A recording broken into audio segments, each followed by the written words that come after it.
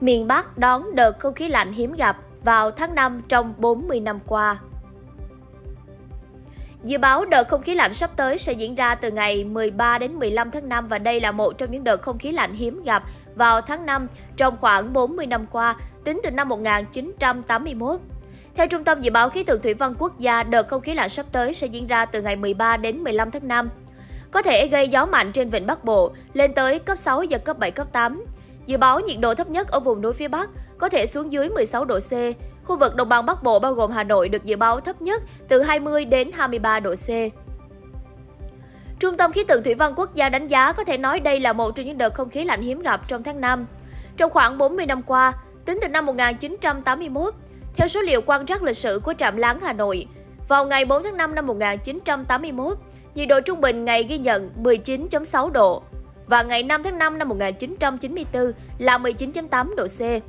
Ngoài nhiệt độ giảm sâu còn kèm theo mưa to đến rất to từ ngày 13 tháng 5, đặc biệt là ở vùng núi Bắc Bộ, còn có nguy cơ cao xảy ra đa thiên tai lốc xét mưa đá gió giật mạnh và sạt lở lũ quét ở vùng núi, ngập úng cục bộ ở vùng trụng thấp.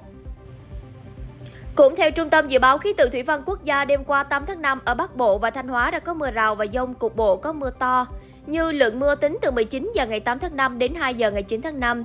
Mường Lạng Sơn La 31.6 mm, Hà Giang 73.4 mm, Thạch Lâm Cao Bằng 40.8, Xuân Khánh Thanh Hóa 115.8 mm.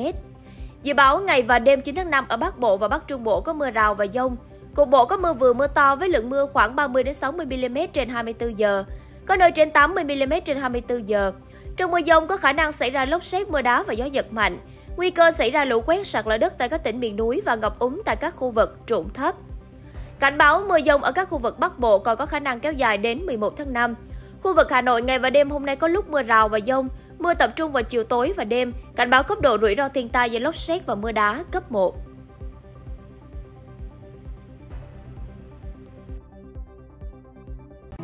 Hãy đăng ký kênh Alo Bác sĩ Video để nhận thêm nhiều thông tin mới nhất về y tế, sức khỏe.